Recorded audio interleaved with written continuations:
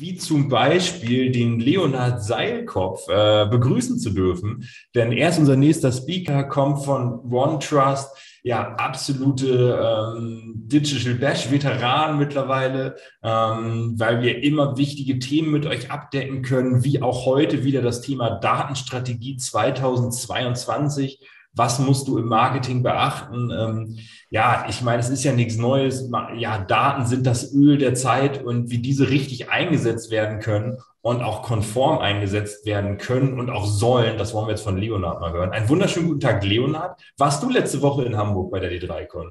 Jawohl, das war ich. Sehr gut. Wie, wie ist der Erfahrungsbericht von der, von der Live D3Con? Hat es dir gefallen? Wunderbar. Es war wirklich schön, endlich mal wieder Leute zu sehen, von Angesicht zu Angesicht sprechen zu können. Ähm, wirklich wunderbares Event. Komm gerne wieder. Sehr gut, sehr gut. Ja, ich habe es ja vorhin schon eingeblendet. Im März nächsten Jahr ist es soweit, aber vorher mehr erstmal noch andere Highlights. OMR, die Mexico und das Digital Dash Main Event. Äh, Leonard, du darfst gerne deine Slides schon mal einblenden, dann können wir nämlich auch gleich schon starten.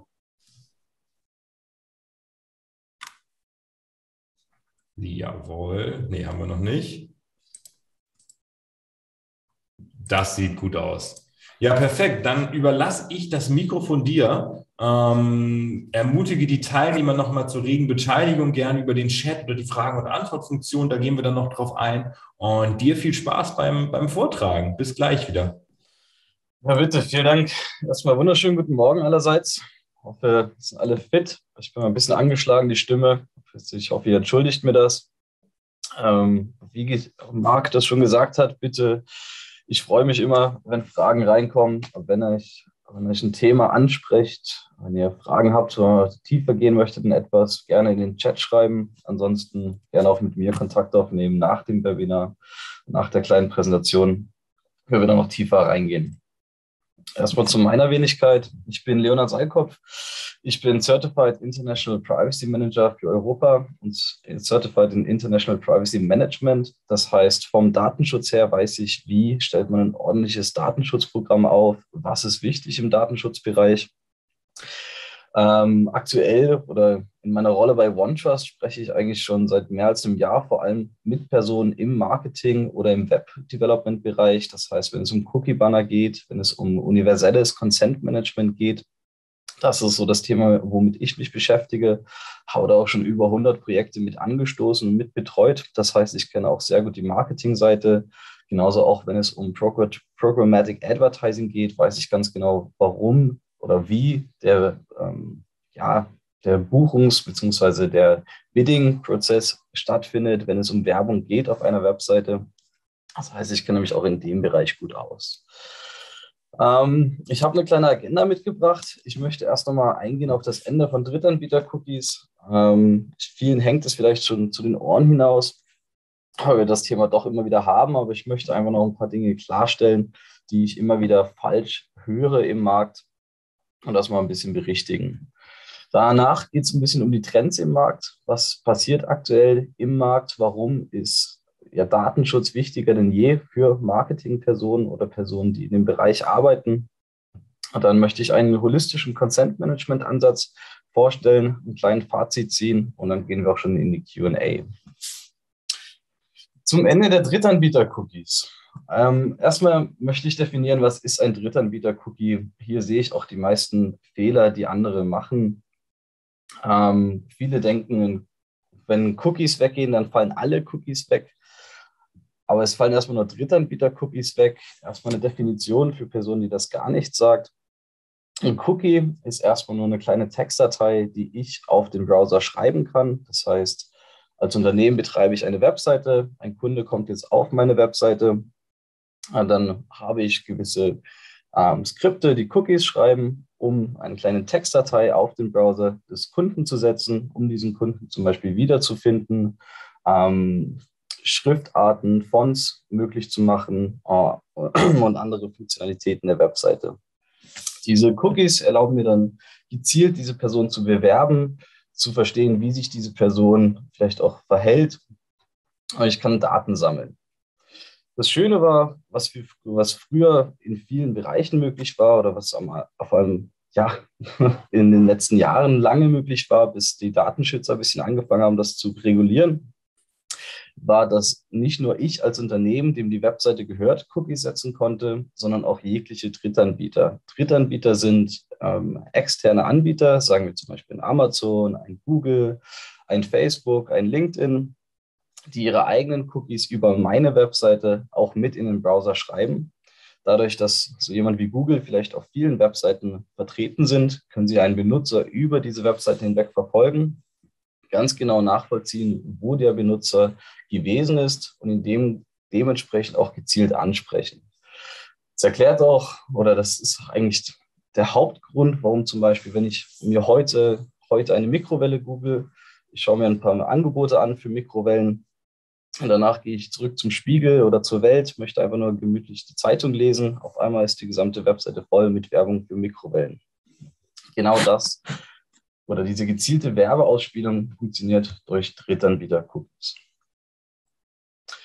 Die Geschichte der Drittanbieter-Cookies, ähm, ja, oder beziehungsweise das Ende der Geschichte der Drittanbieter-Cookies fängt vor allem äh, schon in äh, 2017 an. Safari beziehungsweise Apple hat sehr früh erkannt, dass Datenschutz äh, doch sehr wichtig ist und den Kunden auch wichtig ist. Ähm, das heißt, Apple hat das Tracking von Cookies oder von externen Daten über externe, ähm, externe Anbieter relativ früh eingeschränkt.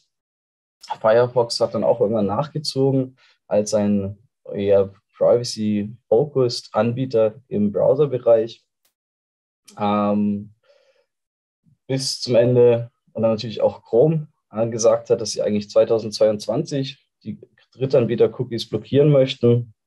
Die Werbeindustrie hatte dann einen kleinen Aufschrei und Google hat gesagt, na gut, wir verschieben das mal bis 2023. Aufgeschoben ist nicht aufgehoben. Das heißt, wir nähern uns jetzt auch dem Ende der Drittanbieter-Cookies auf Google Chrome. Warum ist das so relevant?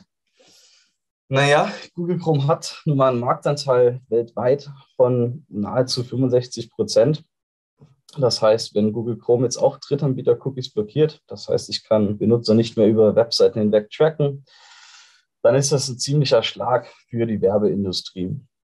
Was viele aber vergessen ist, das Ganze passiert heute schon. Wenn wir uns Safari und Firefox anschauen, haben wir 21 Prozent der Browseranbieter, die heute schon Drittanbieter-Cookies blockieren, wo ich nicht so einfach Individuen über den Browser hinweg tracken kann.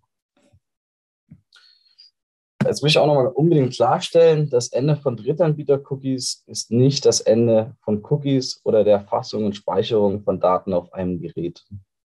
Drittanbieter-Cookies betrifft wirklich nur Cookies, die von Dritten gesetzt werden auf meiner Webseite.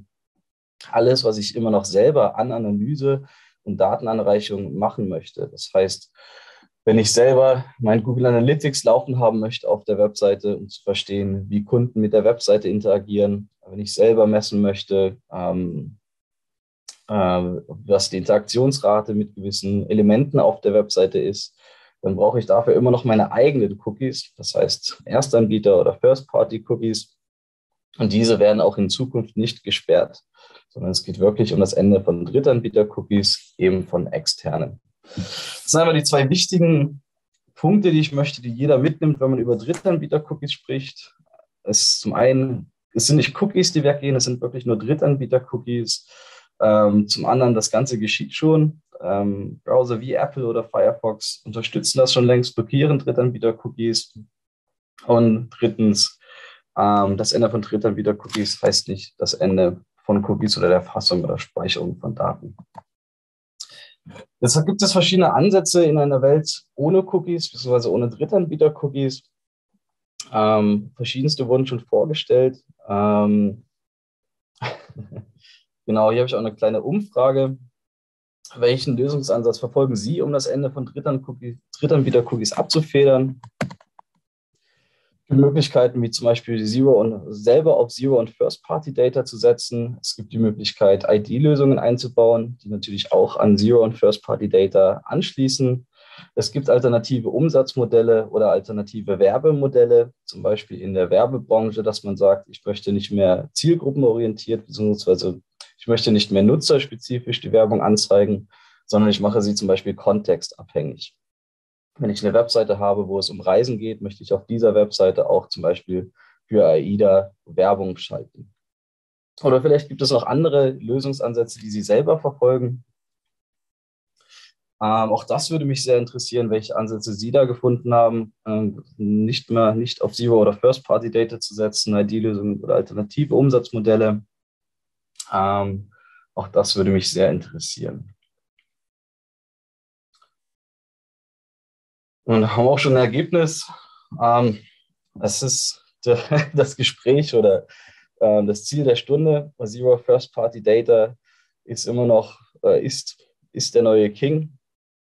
Ähm, geht auch nahtlos über in ID-Lösungen. Das heißt, in meinen Augen gehören die beiden Lösungsansätze sehr eng zusammen. Das heißt, es freut mich zu sehen, dass 74 Prozent der Teilnehmer hier auch Zero und First Party Data als die Zukunft sehen, genauso wie ID-Lösungen.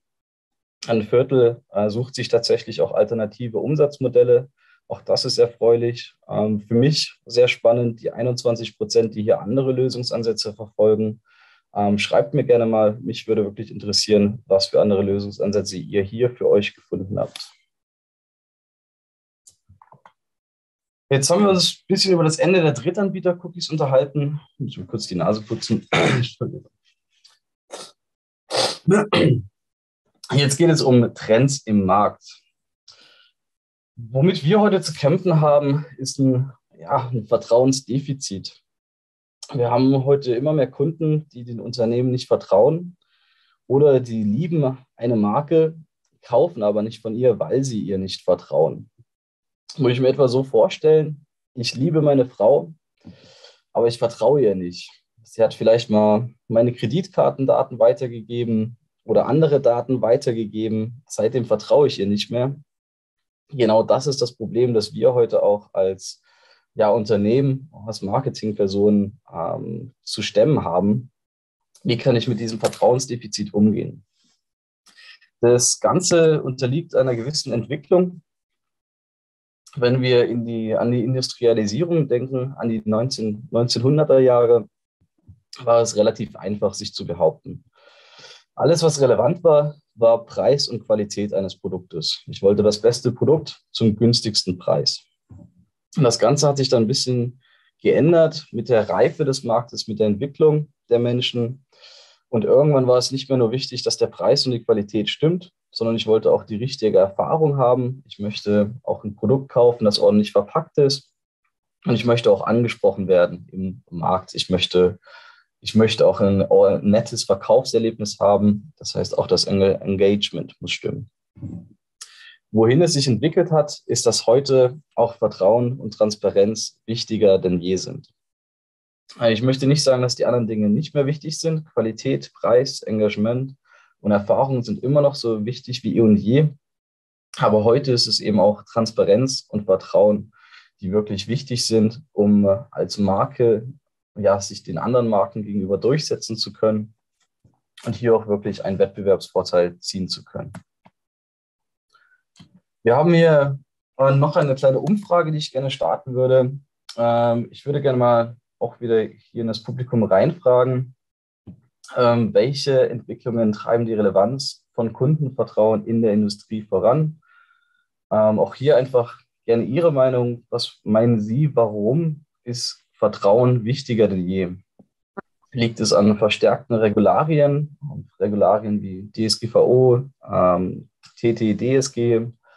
Ähm, liegt es an neuen technischen Neuheiten, jetzt wo auf einmal jeder Kunde, wo auf, jede, auf einmal jeder ein Smartphone hat, wo ich vielleicht eine Smartwatch habe? Liegt es an der technischen Entwicklung, die wir heute haben? Oder liegt es daran, dass Kunden besser informiert sind denn je? Warten wir noch eine Minute. Jawohl. Auch hier wieder eine schöne 40 Prozent, 40 äh, Prozent der Teilnehmer oder der Leute, die am Poll mitgemacht haben, meinen, es liegt an den Regulierungen. 33 Prozent der technischen Neuheiten und 80 Prozent denken, es liegt an besser informierten Kunden. Ich finde, oder meine Antwort ist ganz klar, es liegt an allen drei Dingen zusammen. Wir haben zum einen die Regularien, die sich immer weiterentwickelt haben. Wir haben zum anderen die technischen Neuheiten, wo früher nur ein Modem stand, das ganz einfach mich ins Internet eingewählt hat, ist heute mehr denn je möglich, Nutzer zu tracken und Nutzerverhalten oder auch Benutzererfahrungen zu personalisieren. Und genauso haben wir eben heute auch eine Art, ja, vielleicht Cancel Culture, ähm, der Millennial oder die verpönte Cancel Culture der Millennials, wo es einfach wichtig ist, dass ich Vertrauen aufbaue, ähm, dass ich ethisch korrekt Produkte herstelle, da ich sonst ähm, nicht unbedingt, ja, da ich sonst vielleicht gecancelt werde. Nun, um welche Daten geht es hier eigentlich oder warum sind diese Daten so wichtig? Grundsätzlich muss, ist nahezu jeder im Betrieb auf Daten angewiesen, sei es Marketing, sei es die Vertriebler, sei es das Accounting oder das Produktentwicklungsteam. Sie alle sind auf Daten angewiesen. Ähm, hat verschiedene Zwecke. Es kann den Zweck haben der Weitergabe an Dritte. Die Weitergabe an Dritte muss auch gar nichts Schlimmes sein. Ähm, sie kann Kunden das Ganze, die Kundenerfahrung sogar vereinfachen und besser machen. Sagen wir zum Beispiel, wenn ich ein Hotel buche, ähm, ich habe meine ganzen Daten eingetragen, eingetragen, zwecks Ankunftszeit, zweck Namen, zwecks Adresse, zwecks E-Mail. Jetzt ähm, möchte ich vielleicht auch noch ein Auto während des Urlaubs. Warum soll ich jetzt doch einmal alle meine Daten eintragen? Und es ist ja viel einfacher, wenn die Daten direkt von der Hotelplattform weitergegeben werden an den Autoanbieter. Und ich habe direkt mein Mietauto für den Urlaub gebucht, muss die ganzen Daten nicht nochmal eingeben. Das heißt, diese Weitergabe an Dritte kann wirklich auch etwas Positives sein. Ähm, ich muss einfach nur die richtigen Use Cases finden, wo es Sinn macht, diese Daten weiterzugeben und wo ich diese ordentlich auch vielleicht monetisieren kann. Personalisierung natürlich wichtig wie eh und je. Ich möchte, dass Inhalte mir personalisiert dargestellt werden, wenn ich als Individuum auf eine Webseite von einem Supermarkt gehe. Vielleicht bin ich Veganer oder Vegetarier, dann möchte ich nicht ganz oben auf dem Supermarkt die neuesten Angebote der Fleischabteilung sehen. Das heißt, diese Art der Personalisierung ist genauso wichtig wie eh und je. Natürlich möchte ich meine Zielgruppen verstehen, die Business Intelligence. Wenn ich meine Zielgruppe verstehe, kann ich meine Produkte besser personalisieren und natürlich auch verbessern. Und zu guter Letzt haben wir noch Funktionselemente wie Identitätsnachweise, Bestätigungen, was natürlich auch einfach regulatorisch wichtig ist, ähm, um Kundenprofile zu verwalten, Kundenprofile zu erstellen. Äh, vielleicht möchte ich eine ID sehen, bevor ich ein Auto verkaufe, vermiete, ähnliches. Jetzt schauen wir uns mal kurz die Art der Datenerfassung an über die Zeit hinweg. Wir haben angefangen mit Web-Eigenschaften. Das heißt, früher, wie gesagt, ging es wirklich nur mit dem Modem ins Internet. Heutzutage hat jeder ein Handy in der Tasche, das sendet und empfängt ohne Ende. Wir haben eine Smart TV zu Hause rumstehen, der genauso ans Internet gebunden ist. Und in Zukunft haben wir auch das, äh, dieses Internet of Things. Wir haben immer mehr verbundene Geräte vom Kühlschrank bis zur Mikrowelle bis zum Ofen, der vielleicht noch ans Internet angeschlossen ist. Und in der Zukunft haben wir vielleicht auch noch das Metaverse, ähm, beziehungsweise haben wir das Metaverse, das hier auch nochmal einen ganz eigenen Mikrokosmos darstellt. Das heißt, es werden immer mehr Daten erfasst in immer mehr Bereichen, die aber leider, leider oft immer noch in Silos verwaltet werden. Wir haben die Rechtsabteilung, das Governance, Marketing-Team, IT, Datenschutz. Ähm, sie alle verfolgen zwar ihre eigenen Ziele, versuchen auch hin und wieder miteinander zu sprechen, aber was ich immer wieder merke, ist einfach, dass es diese Kollaboration, dieses Auflösung von Silos fehlt. Ähm, das ist auch mein eigenes Plädoyer. Wenn ich mit Kunden spreche, sage ich immer, ich möchte jetzt nicht zu einer Abteilung sprechen. Bitte kommt erst alle zusammen und wenn jetzt alle am Tisch sitzen, vom, von den Rechtlern bis hin zum Marketing-Team, bis zu den IT-Lern, bis zu denen, die die ähm, Systeme verwalten, wo die Kundendaten liegen, dann können wir auch wirklich ein ordentliches Projekt aufbauen und hier Lösungsansätze finden. Ähm, das verbindende Element fehlt eben einfach. Und verbindende Element meine ich wirklich das verbindende Element zwischen Marketing und Datenschutz. Ähm, wo, wo eben früher oder wo wir heute einfach noch in unseren Silos arbeiten, müssen wir die Brücke schlagen. Und diese Brücke ist das Einwilligungsmanagement. Das heißt, ich möchte konform Daten verwalten, Präferenzen der Nutzer über meine Datenplattform hinweg äh, ja, darauf zugreifen können, aber sie genauso auch hin und in, synchronisieren können in beide Richtungen. Das heißt, mit Einwilligungsmanagement kann ich wirklich diese Brücke schlagen zwischen Datenschutz und Marketing. Dazu möchte ich einen holistischen Consent-Management-Ansatz vorstellen. Ähm, der hat drei Schwerpunkte. Bei jedem, bei jedem Consent-Management-Projekt geht es erst so, erstmal um die Datenerfassung. Sobald ich Daten erfasst habe, möchte ich die Daten verwalten und dann natürlich zum Ende hin auch diese Daten aktivieren. Und das Ganze möchte ich Transparenz gestalten und transparent halten, weil nur wenn ich transparent bin, kann ich Kundenvertrauen behalten, gewinnen und dementsprechend auch, ähm, ja, wenn ich Kundenvertrauen habe, kriege ich natürlich auch mehr Daten. Diese Transparenz, diese Transparenz muss ich an jedem einzelnen Einwilligungspunkt über jeden Datenerfassungspunkt hinweg bieten. Das heißt, ich muss mir erstmal bewusst machen, wo erfasse ich Daten und wie sieht ein User Journey aus. Das fängt an, dass ich vielleicht Heute kennt es jeder, die allererste Interaktion mit einem Kunden ist ein Cookie-Banner. Das heißt, auf dem Cookie-Banner kann ich erstmal mich informieren, welche Daten gesammelt werden wollen. Sobald ich mit dem Cookie-Banner interagiert habe, scrolle ich ein bisschen auf der Webseite rum, möchte dann ein Newsletter abonnieren, ein weiterer Datenerfassungspunkt, vielleicht lade ich dann die App herunter, erhalte die ersten Marke-Kommunikations-E-Mails kontaktiere dann das Callcenter, möchte dem Callcenter vielleicht ein paar Infos mitgeben, was mich interessiert, was mich nicht interessiert, ähm, möchte mein Kundenprofil anpassen. Auch das muss das Callcenter verwalten können. Und zu guter Letzt habe ich vielleicht auch einen Self-Service, Präferenzcenter, um in diesem Präferenzcenter meine eigenen Einstellungen zu aktualisieren. Das heißt, das alles sind Punkte, die wir bedenken müssen. Ähm, wie sieht das User Journey aus? An welchen Orten kann ich überall meine eigenen Präferenzen abgeben? Und über, diese, über dieses User Journey hinweg möchte ich Dark Patterns abschaffen.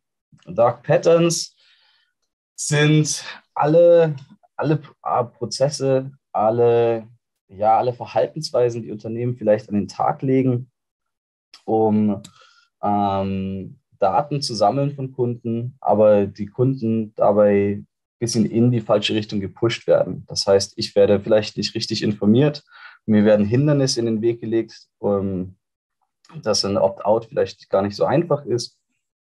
Es werden Informationen im Kleingedruckten versteckt, mein Fingerabdruck wird gelesen oder Daten werden unerlaubt weiterverkauft. Diese Dark Patterns geraten auch immer mehr in das, ja, in das Licht, in den, in den in den ähm, Bearbeitungskreis von Datenschutzbehörden und Datenschützern.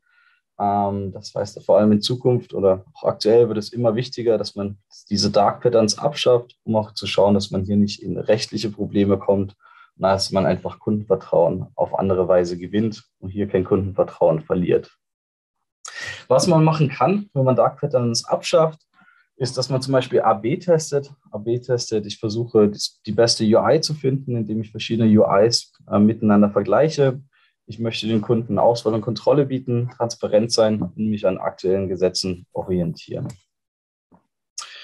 Wenn ich das mache über meine Daten, Datenerfassungspunkte hinweg, dann schaffe ich es wirklich, dieses Bindeglied zu schlagen zwischen Datenschutz und Personalisierung.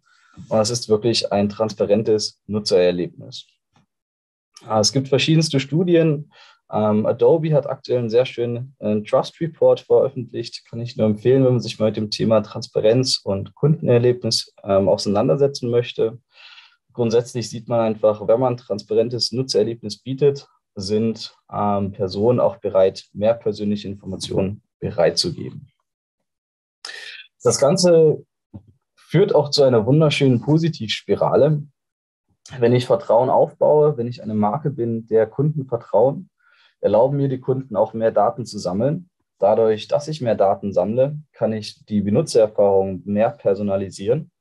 Eine personalisiertere Benutzererfahrung erlaubt mir mehr Vertrauen aufzubauen. was mir erlaubt, mehr Daten zu sammeln, was mir erlaubt, die Nutzererfahrung besser zu personalisieren. Das ist also eine sich selbst bestätigende oder sich selbst antreibende Positivspirale, die sich immer weiter verbessert. Man muss nur einmal das ganze System aufbauen und anfangen, dieses anfangen, das Datensammeln bzw. das Vertrauen aufzubauen, dass man die Daten sammeln kann, um wieder die personalisierte Benutzererfahrung stellen, stellen zu können. Wie sieht das Ganze in OneTrust aus? Wie äh, kann man oder wie kann man so ein System aufbauen vom Backend her? Man muss erst einmal bedenken, was sind die verschiedenen Dateneinwilligungs- und Datenerfassungspunkte, die ich habe. Die möchte ich natürlich in ein Consent Management, in ein Einwilligungs, ähm, in ein Einwilligungsmanagementsystem hineinfließen lassen. Ähm, über dieses, ähm, das heißt, wir sprechen jetzt über die Datenverwaltung. Über dieses Einwilligungsmanagementsystem möchte ich natürlich auch externe Systeme anschließen. Ähm, hier ganz wichtig, ähm, dass ich zum einen meine ähm, äh, Kundendatenmanagementsysteme anschließen kann, dass ich auch, wenn ich ein E-Mail-Marketing-System habe und in dem E-Mail-Marketing-System vielleicht auch ein Opt-out drin ist, dass dieser auch wieder beherzigt wird. Wenn ich mein Callcenter anrufe, dass auch das Callcenter-Team Zugriff hat und Kundendaten ähm, und den Datenschutz der Kundendaten äh, mit regulieren kann. Hier ist ganz wichtig, eine, wie, dass eine Einwilligung nicht einfach nur ein Häkchen ist. Also wenn ich eine, eine Einwilligung habe von einem Kunden, dann hat die vom regulatorischen her auch ganz gewisse Voraussetzungen zu erfüllen. Das heißt, ich muss wissen und verstehen, wer hat zugestimmt und wann. Das heißt, ich muss verstehen, wer ist die Person, die hier wirklich zugestimmt hat. Ähm, sei es eine Art ID, sei es eine E-Mail, sei es ähm, ein voller Name, sei es mein Passport. Ich muss wissen, was genau wurde kommuniziert, als ich eingewilligt habe. War es meine Datenschutz, äh, war es meine Datenschutzpolicy von vor einem Jahr? War es meine aktuelle Datenschutzpolicy? Ähm, wurde das Ganze nur ähm, als ein Zweizeiler kommuniziert? Konnte ich, wurde die Policy verlinkt? Also wirklich ganz genau verstehen, was wurde kommuniziert, als ein Kunde eingewilligt hat. Und dann natürlich möchte ich noch verstehen, wie wurde eingewilligt. Wurde einfach nur ein Häkchen gesetzt, musste der ganze Text einmal durchgescrollt werden als Bestätigung. Ähm, Habe ich vielleicht sogar noch eine Unterschrift gegeben. Das heißt, es ist ganz wichtig, wenn ich mich auf Einwilligungs- oder wenn ich mich auf Consent verlasse, um Kunden zu tracken, um Kundenverhalten zu lesen und äh, zu, ähm, zu sammeln, dass ich diese Einwilligung auch ordentlich und konform protokolliert habe. Wenn ich diese Daten dann verwalte, wenn ich diese Einwilligung bekommen habe, wie gesagt, möchte ich das auch an alle Systeme weitergeben, die diese Daten dann auch aktivieren möchten. Das heißt, hier geht es dann auch vor allem an die, an die Aktivierung der Daten über, das, über den Marketing-Stack hinweg. Das heißt, die Synchronisierung in e-, Echtzeit muss möglich sein. Ähm, ich möchte zukunftssichere ähm, Kampagnen gestalten und natürlich die Inhalte auf der Webseite, die Inhalte, die ich anbiete, immer mehr personalisieren. Hier habe ich auch die Möglichkeit, die Kunden in ein Präferenzcenter zu führen. Ähm, kann man auch gerne machen, statt dass ich ein Opt-out habe, dass ich direkt ein Präferenzcenter habe, wo der Kunde sich vielleicht nochmal überlegen kann. Vielleicht möchte ich statt einem Opt-out einfach nur ein Opt-down machen. Das heißt, ich möchte nicht mehr, ich möchte, statt dass ich gar keine Kommunikation mehr möchte, vielleicht nur einmal im Jahr hören oder einmal im Monat von der jeweiligen Firma hören. Und vielleicht möchte ich auch nicht über alles hören, was ihr als Unternehmen vielleicht anbietet. Mich interessiert vielleicht ähm, euer Newsletter, ähm, wenn es um Firmen-Events geht. Mich interessieren vielleicht aktuelle Angebote. Das heißt, diese Möglichkeit, ähm, die Kommunikation zu individualisieren und zu personalisieren, diese Möglichkeit habe ich über Präferenzcenter.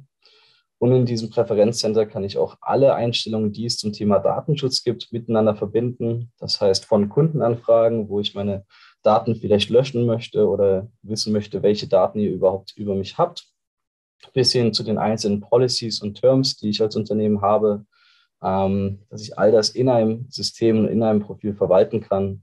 Das erlauben mir Präferenzcenter. Wenn ich jetzt alles zusammenbringe, das heißt, ich habe die Daten erfasst, ich verwalte die Daten ordentlich, dann möchte ich sie natürlich auch aktivieren. Und dadurch, dass ich sie aktiviere, kann ich Kunden zum richtigen Zeitpunkt bewerben. Ich kann Kundendienste anbieten, zielgerichtete Inhalte und spezifische ähm, Kundenempfehlungen aussprechen. Damit komme ich auch schon zu meinem Fazit. Was bringt ein durch, durchdachtes Einwilligungsmanagementprogramm? Ähm, es gibt, ähm, ja, wir haben eigentlich ein Return on Investment auf mehreren Fronten. Das erste ist natürlich die Reduzierung des regulatorischen Risikos. Wir laufen einfach nicht mehr in die, in die Falle oder ähm, wir laufen nicht mehr in die Falle, von Datenschützern angeklagt zu werden oder Kundenvertrauen zu verlieren, weil wir mit Daten vielleicht schlampig umgegangen sind. Auf der anderen Seite ähm, können wir selber mehr Daten sammeln, dadurch unsere Kunden besser verstehen, mehr Vertrauen aufbauen, Inhalte besser personalisieren, unsere Datensätze ähm, vergrößern, die Kundenerfahrung verbessern, Marketingergebnisse verbessern durch Präferenzoptionen ähm, und so wie oder mein Abschlussplädoyer wirklich das Ganze auch nicht nur in einem Silo zu tun, sondern auch wirklich über das Unternehmen hinweg, über Marketing, Datenschutz und Governance, über die IT-Verwalter, über die IT-Mitarbeiter hinweg, das alles zusammenzubringen. Das war mal so der Ausflug in das Thema Präferenzmanagement, aktuelle Trends im Thema ähm, Daten und ähm, ja, Konformität, Datenschutzkonformität. Ich möchte noch mal kurz OneTrust universell vorstellen. OneTrust ist eine sehr viel größere Plattform als nur das Thema Datenschutzmanagement. Wir sind genauso auch im GRC und Security-Bereich unterwegs, wenn es um Datengovernance geht. Wir haben ein Ethikangebot, ähm, sehr wichtig jetzt mit der kommenden Whistleblower Directive. Genauso sind wir auch im ESG und Sustainability-Bereich unterwegs, helfen Kunden, CO2-Rechnungen ähm, zu machen, zu schauen, wie kann ich als Unternehmen noch besser mich für die Umwelt kümmern, mich um Personen oder die Planeten auf, äh, um Personen auf diesem Planeten kümmern und auch um den Planeten selber. Das heißt, alles, was vertrauensstiftend ist, ist wirklich die Kernkompetenz von OneTrust. Das heißt, wenn Sie auch in anderen Bereichen interessiert sind, nehmen Sie gerne Kontakt mit mir auf. Meine Kontaktdaten sind hier und damit würde ich die Fragerunde eröffnen und mich freuen, noch ein paar kurze anregende Diskussionen zu, zu führen. Ja, Leonard, vielen, vielen Dank. Äh, super Vortrag. Ähm, danke, dass du uns auch hier deine Insights direkt aus der D3Con letzte Woche mit hier in die digitale Version gebracht hast. Ähm, du könntest einmal kurz deine Bildschirmslides beenden, dann kann ich nämlich einmal die Fragen einblenden. Wir haben gar nicht mehr so unendlich viel Zeit, aber ich wollte auf jeden Fall nochmal ähm, zwei Fragen nochmal kurz hier mit rausnehmen. Ähm, ich gucke mal, welche als erstes jetzt hier reinkommt. Äh, genau, wir hatten zwei Fragen zur Sandbox-Lösung. Die würde ich einmal kurz zusammenfassen. Die erste war, werden von der Google Privacy Sandbox ID-Lösung nicht auch eingeschränkt in Chrome? Und die Pia fragte, äh, wo ist es? Hier. Wie sollte man zu den Lösungen der Privacy Sandbox stehen? Ähm, ja, wie, wie würdest du das bewerten?